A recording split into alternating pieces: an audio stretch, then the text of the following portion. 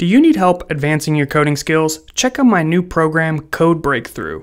Code Breakthrough offers hands on learning with Python in data structures, algorithms, and interview challenges. With a supportive community and regular new content, Code Breakthrough will help you get hired or advance your career. For a limited time launch special, use the link in the description to get 20% off your subscription. See you there!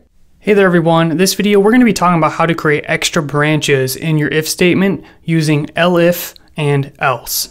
So right now we are checking if your age is over 20. We can actually make another condition by pressing enter there, backing up so we're no longer indented, and then say elif, and then we put another condition here. So let's say, you know, if you're like a senior citizen, you get like a discount on our app, right? So I don't know. I think it's 65 when you're considered considered old. Oh, not sure. And then we'll say is print, and we'll say hey, you get a special discount. Now, the thing is, only one of these will ever be hit. So it's not the case that if someone is 75, that this is going to happen because it's true, and then this is going to happen because it's also true. Because there's this L part, which is short for else if, so it's one or the other.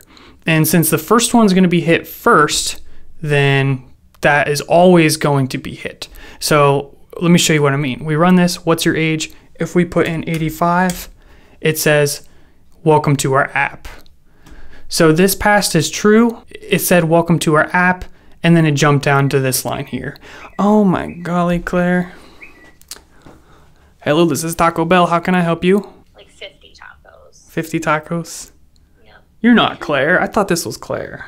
Okay, um, I lost my train of thought there.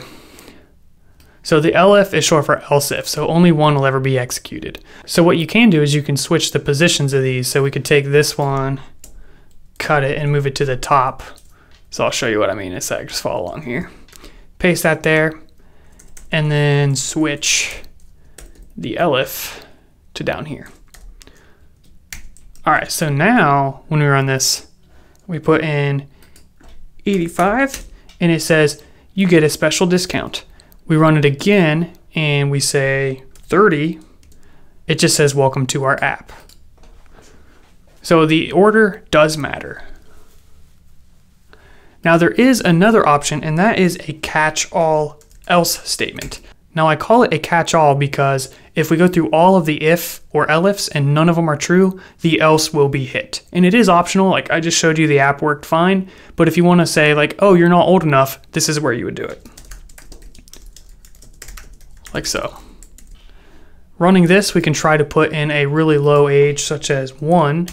Running this, and it says you're not old enough. Although this is always hit. So after the if statement, all of these together, you can just consider it as one giant block. It'll just go down to line 11 and continue executing.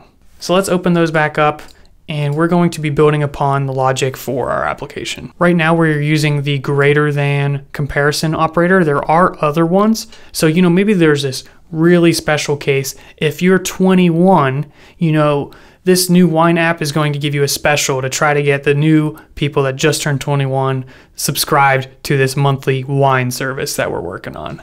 So we could do that after this one here.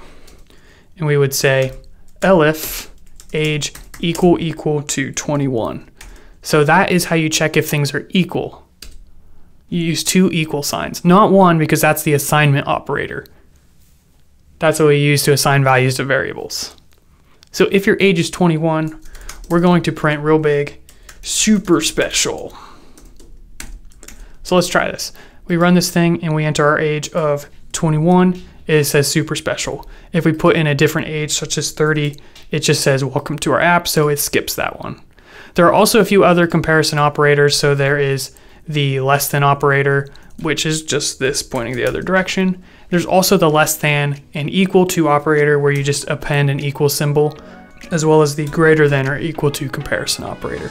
So those are some of them you'll see, and there's some other stuff you can do with if statements, which we'll be doing in the next couple videos. So we will put that back to greater than 65, and we will move on to the next video.